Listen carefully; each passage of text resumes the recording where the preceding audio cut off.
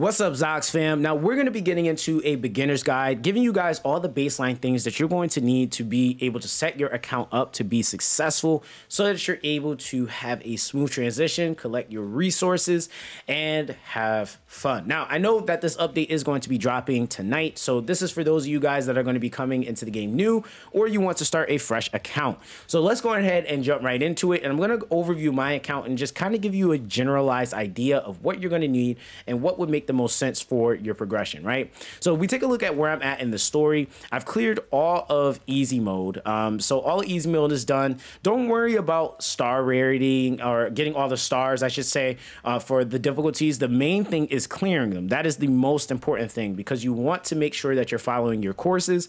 That is by far the most important guideline that you have to be successful, right? Uh, now on hard mode, I'm on chapter six, and then also on purgatory, I'm on chapter three. Now, what you want to ideally do is, like I said, following your courses. So this is in your missions, in your growth plan, recon plan, ritual miracle, sonic miracle, point war, star promotions, infinite miracle. And then once you have desolate lands unlocked you will then focus on that. But for the most part the, the primary ones you're going to be focusing is going to be your growth plan the recon plan ritual miracle and then sonic miracle right? Now with the growth plan i'm almost done with this. Um, i'm currently needing to push further into 7-16 but i was at a stopping point to where i wanted to make this video for you guys so i could kind of help those that would be starting out fresh since i am just about almost a week ahead of everybody right? Now with that, what you're going to want to make sure that you're doing is again isolating and condensing the units that you are investing in. I think that this is one of the biggest things that would either slow your progression or speed up your progression is understanding that you cannot invest in everything in the beginning of the game. You have to pick and isolate what you're investing in. And that's why uh, getting to a stopping point once you accumulate that 100 pulls, that's a good point to do those 100 pulls, see what you get, and then ultimately decide what you're going to continue to invest in and then alternating them out. Now, the biggest thing is, is that what I tried to do is for my account clear, I tried to utilize units that I know for a fact that people would either typically have. Um, um, and there's really not too many RNG aspects or factors into you getting these units, right? Now, uh, in terms of the units that we're using, it will either be Liling or Tang Shuang, right? Now, that's going to be your beginner special summon that is random. Um, so either one works extremely well. They do have their advantages to disadvantages in different pieces of content now because of their attribute, but either one actually works for the current state of how you're going to be progressing and pushing through the game. Now, one unit that's definitely going to be a must build for every beginner is going to be Drew. I can't get away from him. I mean, the dude is absolutely ridiculous. Um, once you get his rezos, which are easy to get once you do those pulls, um, he's going to be a huge, huge factor in being able to execute. So killing three enemies at once, and then being able to uh, also restore his HP with each kill that he gets, which is just absolutely insane once you get his divine gates unlocked. Um, another unit that some people are always just talking crap about, but he's going to be very, very viable for beginner progression is going to be Q. Uh, Q's definitely going to be super huge for you to be able to uh, get rid of different missions or complete different missions that might require you to kill a tablet, um, as well as just killing multiple enemies. He sets your enemies up or your allies up for really, really nice damage setups. So super, super huge to have onto your uh, composition. Now, the other unit you'll be using in your process is going to be Mona you will use her up until the point of you getting your pulls. And really, I would say you use her up until the point of you getting Death Guard Hay. Um, I actually swapped her off at this point. Um, still a viable unit to a degree. But once you get Death Guard Hay, Death Guard Hay just offers a lot more AoE wise, single target wise. Um, and of course, with that defense break, it's just really nice. And then with Mona, she kind of doesn't do well in Chronos. She doesn't really do well in the Pep because she multi hits. So it's just a couple of different factors with where you'd really be taking her. Um, but that's the primary thing, right? Uh, now, outside of that, you will be also for healing using Helena in the very beginning, but she is going to be alternated out for Chang Pu. Uh, Chang Pu is going to give you that immunity, and that's going to help you with sustaining yourself and not only Chronos, but also early game Apep as well, right? So that's pretty much the basis of your team. Now, we're going to come back to gear in a moment, but I wanted to kind of lay down just the generalized basics of what you need and what your ultimate goal is just for starting out. Um, um, so that you're able to accumulate these resources. Now, since I have spent that 100 um, wor- 100's worth of summons, uh, I actually have now back to 27 gold records and about 12,000 uh, Nexus crystals. I dropped all the way down to zero gold records and three uh, 3K Nexus crystals when I did those pools. So I did accumulate quite a bit, uh, considering that I had already had got so much. Right now, the biggest thing is is that what is going to be a huge, huge progression push for you is obviously going to be Ritual Miracle outside of story right? Now, I would say the point at where you would start probably farming or doing some multi-battle stages, and there's a reason why you want to start doing multi-battle and not blitz, because blitz, it's absolutely not worth to waste those on stages this early in the game, especially if you have the time to allow it to multi-battle, because that resource is again, if it's the daily ones, you might want to use those at some point, but you'd rather use those closer to them expiring so that you could be using those on stages that you don't want to or have to sit through so you you can simultaneously get the rewards that you want. Uh, but your primary focuses are going to definitely be Chronos and Apep. Um, I would definitely say once you get to the point of getting to about stage five, uh, stage five is going to be a point where you're going to probably want to turn on that multi battle so that you can start farming 25 through 30 pieces. Now, you're probably only going to have to do maybe collectively somewhere around 30 runs. Um, and it might be a little bit more, but not really too crazy because you don't want to invest or spend too much time into these dungeons uh, because you just want to be progressing. But this is going to be a good point for you to start getting pieces that are going to have better base stats, start giving you better substats, um, and as well, like when you're looking at the door that is kind of open, um, once you get from or once you go from stage three to four, that's when you actually start seeing uh, two star sets, um, like in the other two star sets, and as well as an increase in the quality of the pieces. So once you go to stage five, uh, you also will have the capability of leveling up your gear pieces a little bit more. So that's why stage five is a little bit more important um, because once you get to stage six, stage six is where you're going to really have to start taking into consideration more of the mechanics. They start to kind of hit you with those things in like stage five, but stage six, you have to be very, very aware of the mechanics. And this is where you'll really start to see your actual team that you potentially want to use start kind of coming into fruition, right? Uh, and same thing with Apep. You're going to do this a little bit, um, especially I would say stage five is a really, really good place for that multi battle so that you can accumulate some of those pieces to fill out or further flesh out your characters, right?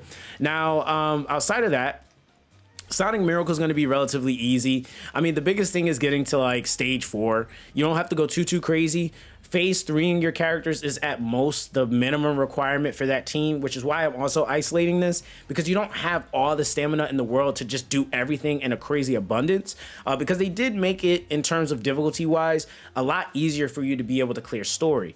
So, what you're going to be doing here is that it is a mission that requires you to get to the point of clearing stage five. So you'll do that for one, but for everything else, at least getting to stage four should be able to grant you enough. Um, considering you also will be granted missions as well for completing corresponding stages to then gain extra waves, which should allow you to be able to fill out the remainder of your team, right?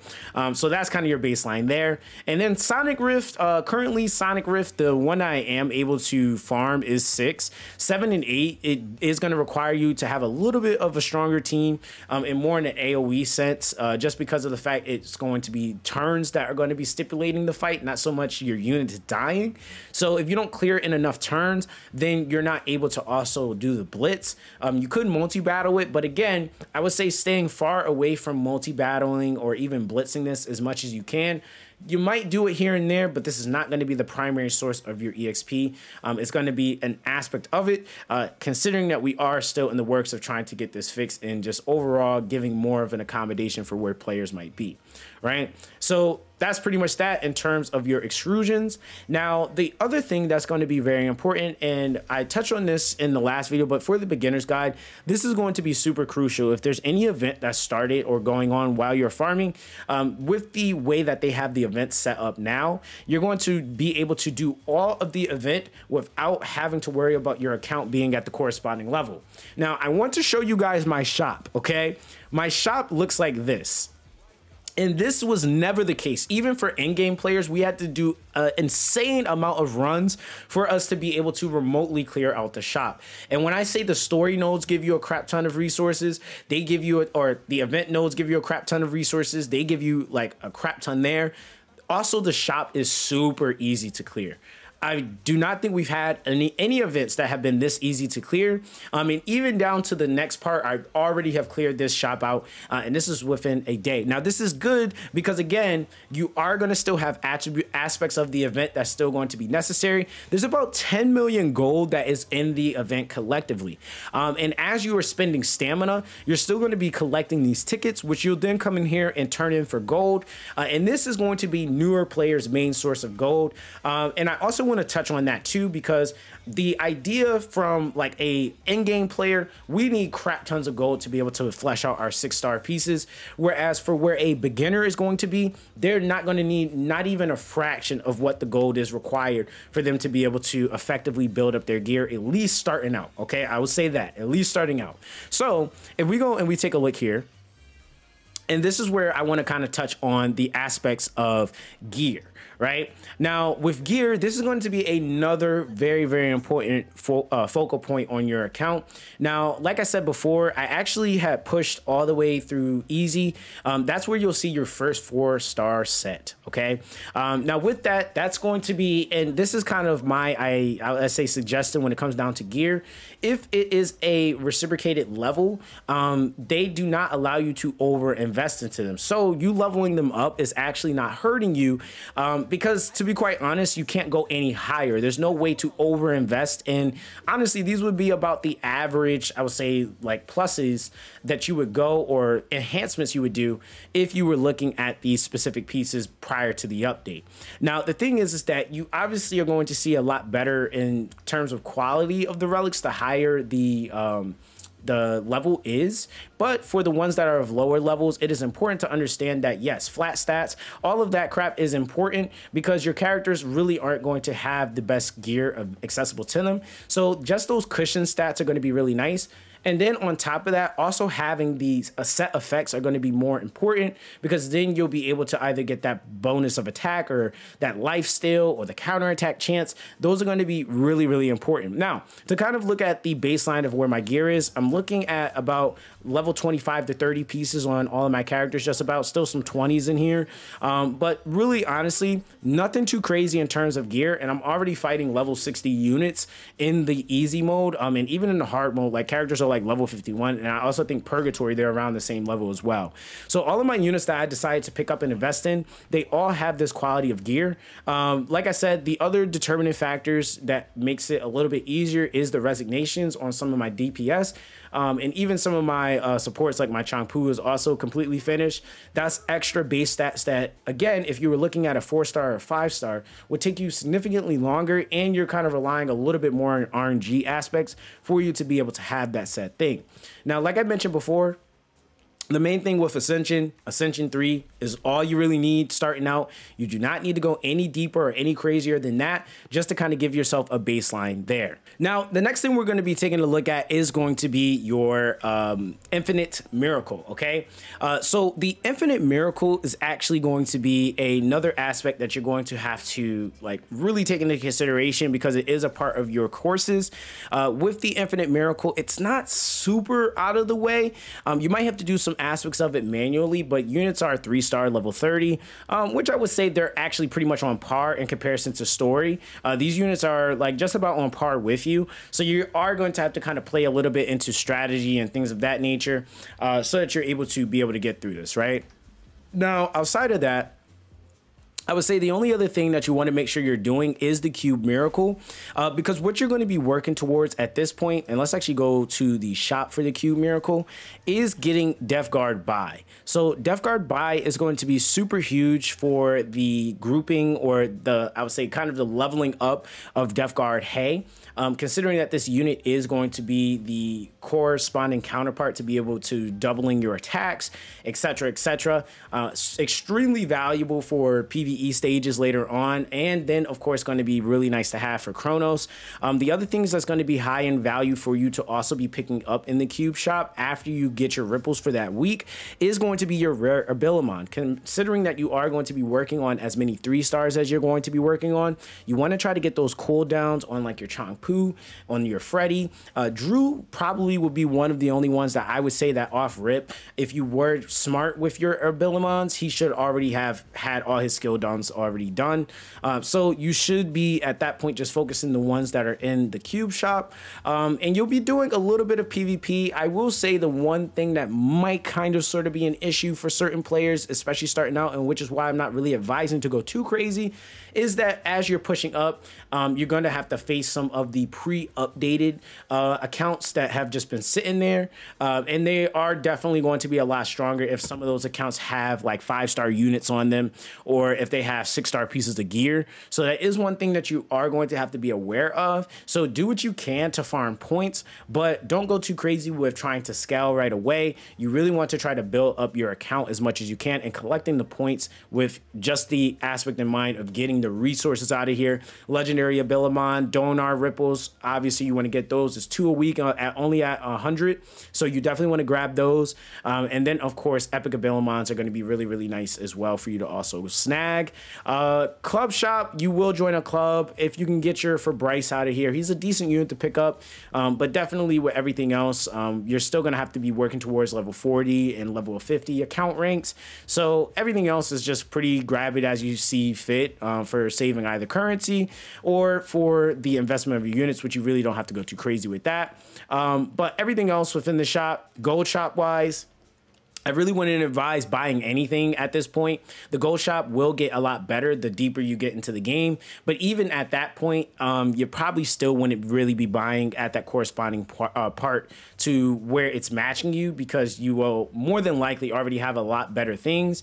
But if you end up seeing something in here that is of value and worth of value, uh, then you might want to snag it. But everything that's in here right now, absolutely do not grab this crap, right? Now, moving on to the last aspect of this video, which I wanted to cover in the beginner's guide, especially is the team comps that you want to utilize to at least get to the point of clearing the ritual miracles uh, and what I would advise you to at least keep in mind when gearing these units, etc., etc. right? So for at least getting to stage five of the Chronos, you want to utilize whoever is your uh, beginner unit that you get, five star that you get, um, which I'm using uh, Tang Shuang. He does have the defense break. It's not bad. He's able to also heal himself with the set Avalon. So it absolutely works. Uh, using Death Guard Hay, Drew, Q, and Changpu for sustain to prevent any CCing, and also in between when Chronos defense breaks you, because uh, his little wave attack now will defense break you. So that is just absolutely annoying to deal with. So this would be the layout that you would want to consider. Um, again, the gear is going to just be super, super baseline. Uh, when you're talking about like Hades set, it's going to be whatever you're using in PvE for these units. Um, same thing, War Machine, the sort of uh, or uh, Fiery and Cadence is going to be uh, again for your other portions of your DPS, uh, and then for your supports, either the Abiding Panacea, uh, and I have a broken set on my Changpu because I'm trying to get that last piece for immunity, um, and then the Adamantine you can also get through playing the game. And then Windwalker is another set that you'll see on some of your characters, but not really so much yet. But eventually you will start fleshing that out, right? Now, with Apep, a PEP 5 is going to be pretty much the same exact lineup, but you take out Death Guard Hay and you put in Freddy. All right. Freddy is going to be your unit that you place in here. And the reason why you do is because he hits a lot less. You want to take out the Monas. You don't want to use Mona here. You'll probably use her in the first like first clears because it was a lot easier. But eventually you'll start noticing that the poison and trying to deal with that with in conjunctions, the, you know, uh, turns and stuff that Apep will take, it's going to be a little bit too much even at that at this point in the game for you to be taking on that extra damage. Um, so you're trying to condense your damage. You have a defense break. You have a damage link, so that can help you with your tablet mission clear. So this is really, really good. And then, of course, Changpu is absolutely amazing because of her immunity coverage, so it prevents you from being poisoned. Um, so absolutely huge there. Uh, and then for Fafnir, I would say with Fafnir, you don't have to go too too crazy. Uh, but the team comp that i would say obviously you're going to want to recommend is any team comp that has a decent amount of units that can multi-hit. So if you have units like um, for example like death guard hay is going to work extremely well here because death guard hay is able to also multi-hit on two i think all three abilities actually.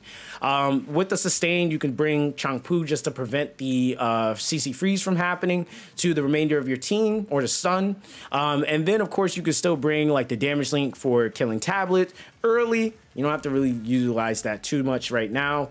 But then again, you also are going to also be getting damage coming from uh, whoever your captain is. So if you're using like uh, another alternative unit that you might get earlier, if you're lucky, is like Dai, you could definitely swap him in. But just trying to consolidate and condense the usage of all the units. This is what I would say would work just to kind of get you to at least stage five um, as we're working towards pushing to stage 10, right? So that's pretty much that. Um, again, I will say the game has gotten a lot easier in certain aspects, but a lot harder in others. But this is just a really good baseline just to kind of help you with getting through this current version and update of what is going to take and what is required for you to be able to get through the game. Uh, levels don't have to be too high. Um, my levels on my units, my highest unit is level 40, right? Everybody else is 35 and lower. So we're not even going crazy with levels. Um, star rarity, four star average, one five star. That's a nat five star that we're using. So you do not even have to go crazy with even star rarity in your characters, right?